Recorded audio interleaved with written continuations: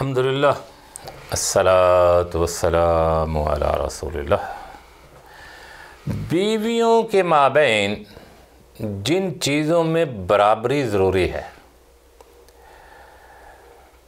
کہ آدمی شادی وہ کرے دوسری کہ جو بیویوں کے درمیان عدل کر سکے۔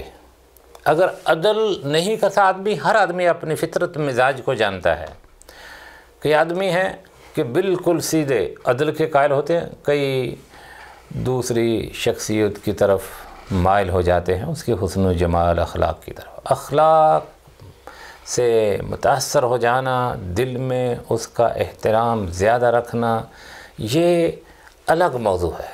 لیکن کچھ ایسی چیزیں ہیں جن میں عدل و انصاف کرنا ضروری ہے۔ حدیث میں اللہ کے نبی صلی اللہ علیہ وسلم نے فرمایا کہ دو شادیاں کرتا ہے، لیکن وہ دو بیویوں کے ساتھ عدل سے کام نہیں لیتا۔ تو معاشر کے دن وہ اٹھے گا تو اس کو ایک طرف فالج ہوگا۔ تو اس لیے عدل ضروری ہے۔ تو عدل کن کن چیزوں میں ضروری ہے؟ تو بیویوں میں نان و نفقہ، لباس و پوشاک میں برابری ضروری ہے۔ اس میں اگر آدمی برابری نہیں کرتا تو معاشرے میں، عرف میں اس کو ظالم سمجھا جائے گا۔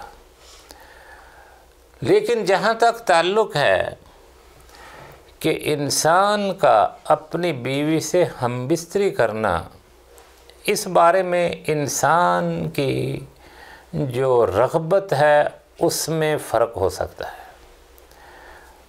تو ہم بستری، اس سے مباشرت کرنا، مجامت کرنا، اس میں انصاف انسان کے اختیار میں نہیں جہاں تک تعلق ہے نان و نفقے میں، پوشاک میں اس میں لازم ہے کہ وہ عدل سے کام لے۔ اگر عدل سے کام نہیں لیتا، تو وہ انسان اللہ کے ہاں مجرم ہے اور معاشرے میں بھی لوگ اس کو برے الفاظ کے ساتھ پکاریں گے۔ وَاللَّهُمَّ صَلِّ عَلَى مُحَمَّدْ وَعَلَى عَلَى